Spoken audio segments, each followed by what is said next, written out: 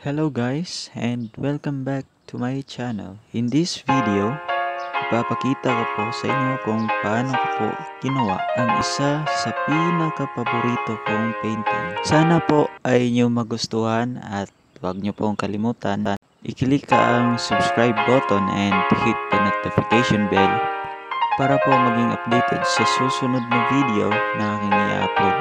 Salamat and enjoy!